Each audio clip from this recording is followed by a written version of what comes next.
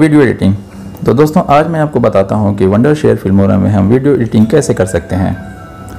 दोस्तों, ये सॉफ्टवेयर काफ़ी कमाल का होता है और अगर आप पीसी या कंप्यूटर यूज़ कर रहे हैं या लैपटॉप कोई भी यूज़ कर रहे हैं तो आप ये सॉफ्टवेयर इंस्टॉल कर लें और आप अच्छे खासे वीडियो एडिटिंग कर सकते हैं। आज मैं आपको इसके पार्ट वन को बताऊँगा, क्योंकि ये सॉफ्टवेयर काफ़ी बड़ा है। तो एक वीडियो में कवर करना थोड़ा लंबा पड़ेगा तो मैं इसे अलग अलग पार्ट में बताऊँगा। तो सबसे पहले पार्ट वन में आज हम देखेंगे कि वंडर शेयर फिल्मोरा में बेसिक्स क्या होती हैं वंडर शेयर फिल्मोना में बेसिक टूल्स क्या होते हैं ऑप्टिमाइजेशन कैसे करते हैं इसमें ऑप्शंस वगैरह इसके कैसे होते हैं, इसमें टाइम लाइन क्या होती है टाइम लाइन का सेटअप कैसे करते हैं करते हैं media import and basic editing कैसे किया जाता है, ये सारी बातें हम यहाँ पर कवर करेंगे और इसकी फिनिशिंग धीरे धीरे आपको आ जाएगी। तो चलिए हम इसे ओपन करके देखते हैं कि ये कैसे ये वर्क करता है, इसका इंटरफेस कैसे दिखता है, हो सकता है आपको जानकारी हो।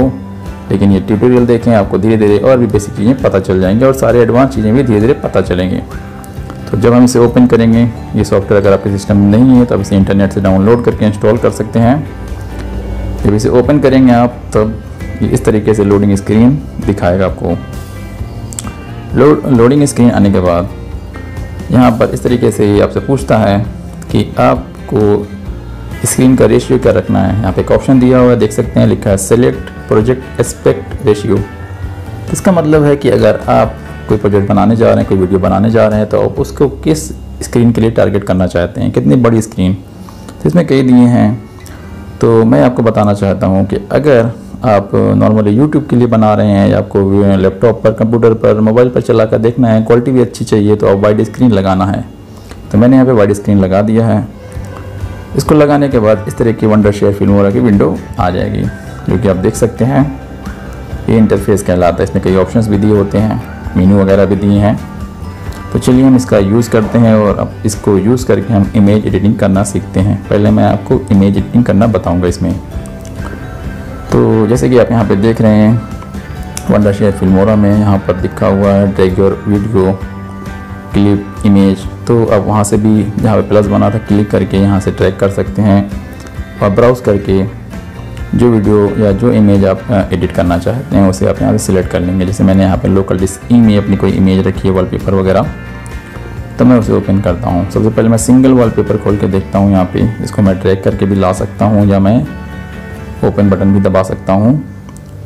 तो यहाँ पर सबसे पहले यहाँ पर कलेक्शन स्क्रीन होती है। यहाँ पर मेरा डाटा इकट्ठा हो जाता है। उसके बाद मैं ट्रैक करके यहाँ नीचे लाऊँगा, इसे टाइम लाइन कहते हैं। तो जब भी आपको वंडर शेयर फिल्मोरा में कोई टॉपिक यूज़ करना होता है तो पहले आप उसे लोड करते हैं ओपन करके। ठीक है? फिर उसे आप ट्रैक करके टाइम लाइन पर रखेंगे। जो ब्लैक कलर की लाइन जहाँ पे मैंने लेके छोड़ा, ये टाइम है। और भी इमेज चाहिए तो आप मीडिया में जाके ले सकते हैं या प्लस दबा सकते हैं। ठीक है? तो कभी भी आपको और इमेज चाहिए या आप इंपोर्ट ऑप्शन ऊपर से ले सकते हैं इंपोर्ट मीडिया फाइल्स तो कई जगह से ये ऑप्शन दिया हुआ है। अगर आपको एक साथ चाहिए तो आप माउस को दबाए रखेंगे थोड़ा आगे से और एक साथ कई को सिलेक्ट करके लोड कर लेंगे। तो आप देख सकते हैं एक साथ कई इमेजेस यहाँ पे इंपोर्ट हो चुकी हैं। ठीक है? आप किसी को भी चेक अनचेक भी कर सकते हैं डिसलेक्ट भी कर सकते हैं। एक साथ सबको लोड करना चाह रहे हैं एक एक करके ट्रैक करने की ज़रूरत आपको नहीं है। बल्कि एक साथ सिलेक्ट करके ट्रैक कर लेंगे तो ये सारी इमेजेस एक साथ आ जाती हैं। आप देख सकते हैं, ये हमारी टाइम लाइन पे ये सारी इमेजेस सेट हो गई हैं। क्योंकि मेरे पास ये डबल हो गई है। तो मैं किसी भी इमेज को हटा भी सकता हूँ। हटाने के लिए आप कीबोर्ड से डिलीट या राइट क्लिक भी कर सकते हैं। तो देख सकते हैं, ये सभी इमेजेस हो गई हैं। जो भी इमेजेस हम यहाँ पे लोड करेंगे, ऊपर जो बड़ी विंडो दिख रही है, यहाँ पे उसका प्रीव्यू हम चला के देख सकते हैं। और यहाँ से इसको ट्रैक करके आप इसे फैला भी सकते हैं यहाँ से। किसी भी इमेज को अगर आप यहाँ से नीचे से माउस से ट्रैक करेंगे तो वो ज़्यादा देर तक शो करेगी। यानी ये डिपेंड करता है कि उसे कितनी देर चलाना चाहते हैं। देखिए लास्ट वाली इमेज को मैंने काफ़ी खींचा हुआ है, और बाकी सब बराबर पे हैं। तो अगर मैं इसे प्ले करता हूँ तो एक रेड कलर की लाइन आपको स्क्रीन पर दिख रही होगी। ये धीरे धीरे आगे बढ़ती है। तो जैसे मैंने पहली वाली इमेज को ट्रैक कर दिया, मैं ट्रैक करता ही जा रहा हूँ तो ये मैंने डबल कर दिया यानी मुझे डबल कॉपी करने की ज़रूरत नहीं, मैं ट्रैक कर दूँगा। तो अब अगर मैं इसे प्ले करूँगा तो ये डबल टाइम लेगी लोड करने में, जब तक ये पूरा नहीं हो जाता। तो टाइम लाइन से हम सेट कर सकते हैं कि कौन सा आइटम हमें कितनी देर लोड करना है, कितनी देर शो करना है। ठीक है दोस्तों तो ये आप समझ रहे हैं इसको। यहाँ पर अगर आप देखें किनारे जहाँ पर प्रीव्यू दिखता है, यहाँ पर माइनस और प्लस दिया हुआ है। ऐसे आप जूम कर सकते हैं। जूम करने से ध्यान दें, जो टाइम लाइन की लेंथ होती है वो काफ़ी लंबी दिखती है, इससे बारीक काम करने में मदद मिलती है। तो बहुत ज़्यादा जूम करने से आपको लेफ़्ट राइट ट्रैक करना पड़ेगा तो बहुत ज़्यादा जूम करना ज़रूरी नहीं है। जब तक बहुत ज़्यादा बेसिक काम ना करना हो बहुत ज़्यादा ज़्यादा छोटा करने से भी आपको समझ में कम आ सकता है। लेकिन ऑप्शन दिया हुआ ऊपर से तो जूम आप कम ज़्यादा कर सकते हैं। लेकिन मैं आपको रिकमेंड करूँगा कि आप बीच में रखें, बहुत ज़्यादा भी जूम ना करें, बहुत कम भी ना करें। तो देखिए, मैंने यहाँ पर पहली वाली जो इमेज है, उसको सिलेक्ट करके बहुत कम कर दिया है उसका टाइम रेशियो तो अब अगर मैं प्ले करता हूँ तो तुरंत पार हो गया और नेक्स्ट वाली इमेज भी तुरंत प्ले होने लगी है।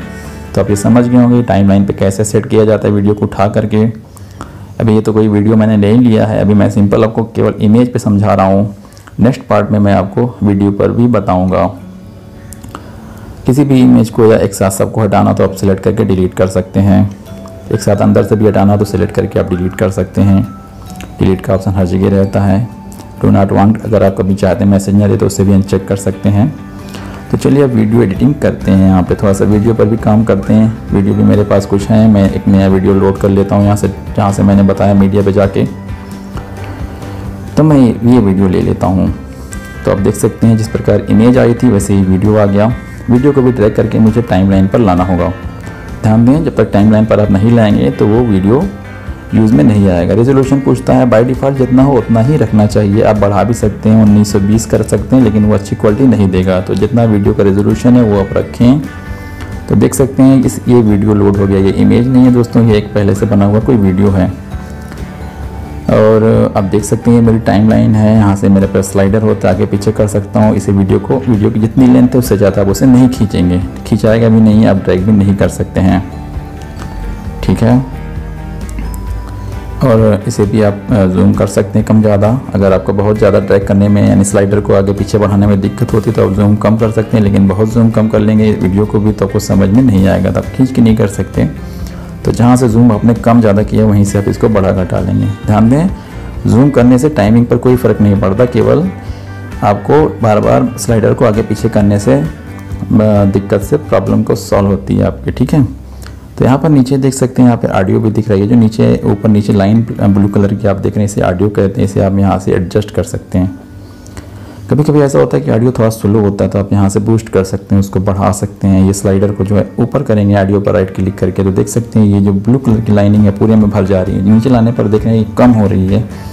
तो जितना हाई रहेगा, उतना ज़्यादा साउंड मेरा बूस्ट कर जाएगा और सुनने वालों को ज़्यादा तेज लाउड सुनाई देगा।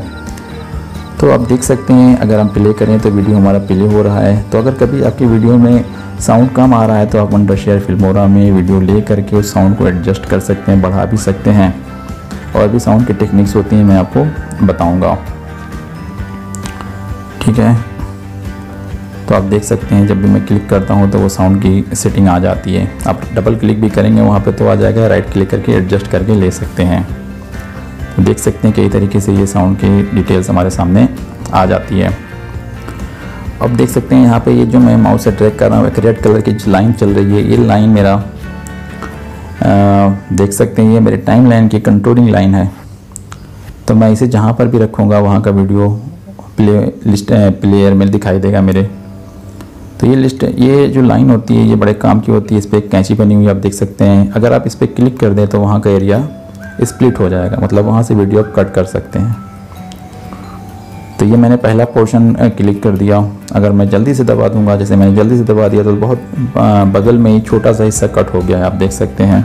तो मैं थोड़ा और बड़े लेवल पे कट करता हूँ। एक बार मैं और दबा देता हूँ तो यहाँ पे दो कटिंग मैंने कर दी है। तो ये काफ़ी काम की होती है लाइन देख सकते हैं, जितना एरिया कट जाता है, उसका माउस से क्लिक करके आप उसे डिलीट भी कर सकते हैं सीधे। तो अगर आपकी वीडियो कोई लंबा हो गया, देखेंगे दूसरा पार्ट भी छोटा हो गया था तो मैंने कट कर दिया। तो कभी कभी ऐसा होता है कि जो वीडियो हम बनाते हैं, उसमें बहुत सारे लेंदी हो जाते हैं, बहुत सारे अनइम्पॉर्टेंट थिंग्स आ जाती हैं तो हम उन्हें बीच से हटा सकते हैं। हटाने के लिए ध्यान दें, ये जो स्लाइडर है रेड कलर की जो लाइन है, इसकी कैंची पर आपको क्लिक करना है, या आप राइट क्लिक भी कर सकते हैं यहाँ से। ठीक है? राइट क्लिक करने पर कट ऑप्शन नहीं करना है, ध्यान दें कट करने से पूरा वीडियो कट हो जाएगा। तो आपको स्प्लिट करना है, नीचे मिलेगा। देख सकते हैं, अगर मैं पूरा कट कर दूँ कभी कभी लोग कट कर देते हैं। कट करने से पूरा वीडियो कट हो जाएगा तो अंडू कर लीजिएगा। वो तो मैं आपको समझा रहा हूँ। तो अगर आप कैंची पे क्लिक कर दें तो अच्छी बात है हाँ या एक आप देख सकते हैं यहाँ पे ऊपर स्प्लिट ऑप्शन दिया हुआ है। तो राइट क्लिक करके भी आप स्प्लिट कर सकते हैं। तो एक पोर्शन आप फ़र्स्ट लगाएँगे फ़र्स्ट बताता है कि यहाँ से आपका कटिंग स्टार्ट हुआ और अगर दोबारा स्प्लिट आप करते हैं तो यहाँ से एंडिंग हो गई। तो इन दोनों के बीच के एरिया को अगर आप सिलेक्ट करेंगे तो ऑटोमेटिकली माउस से सिलेक्ट हो जाएगा और आप इसे डिलीट कर सकते हैं। तो देखा आपने, कितना ईजी है वीडियो की कटिंग करना। तो जो जो बचेगा वो आपका रह जाएगा। इस तरीके से आप देख सकते हैं, ये वीडियो काफ़ी लेंदी था तो मैंने इसे कटिंग में कर दिया। ध्यान रहे, कैंची पर क्लिक करके भी आप कट कर सकते हैं वहाँ पे। आप राइट क्लिक करके स्प्लिट करेंगे कट नहीं करेंगे। अब आपको मर्ज करना बताता हूँ। मान लिया मैंने एक नया वीडियो ले लिया, ठीक है? ये अलग वीडियो था, मैं एक और वीडियो रखा हूँ, दूसरी क्लिप है। तो मैं चाहता हूँ दोनों को ऐड कर दूँ, साथ में से मर्जिंग कहते हैं। तो आपने देखा, मैंने दूसरा वीडियो वहाँ से मीडिया से ओपन किया और ड्रैग करके टाइमलाइन पर लाया, उसके आगे रख दिया। ठीक है? तो आप देख, अगर मैं इसे प्ले करूँ तो आप देख सकते हैं धीरे धीरे ऑटोमेटिकली मेरी जो रेड लाइन है, वो दूसरे वीडियो पर चली जाएगी। तो सामने वाले को पता ही नहीं चलेगा कि मैंने अलग वीडियो ऐड किया है। जब मैं इसे फाइनल करूँगा तो ये पूरा वीडियो एक साथ प्ले होगा। जैसे यहाँ पर आप देख सकते हैं, कुछ पोर्शन एक्स्ट्रा है यहाँ पे तो आप यहाँ से भी कटिंग वटिंग कर सकते हैं। ठीक है? और मैं इसे भी डिलीट कर देता हूँ। कभी कभी दोस्तों ऐसा होता है कि हमें लास्ट में नहीं ऐड करना होता, बीच में एडिंग करनी होती है। समझ रहे हैं आप? मैं चाहता हूँ जो नई क्लिप है मेरी बीच में ऐड हो जाए। तो जहाँ से ऐड करना है वहाँ पे आप स्प्लिट कर लेंगे। स्प्लिट करने के बाद जो एरिया स्प्लिट हुआ है, उसे आप पकड़ करके ऐसे ट्रैक नहीं करेंगे। इस तरीके से ट्रैक करेंगे, बीच से पकड़ करके तो ये पूरा उड़ जाएगा ट्रैक हो जाएगा। यहाँ पर मैंने खाली गैप कर लिया है।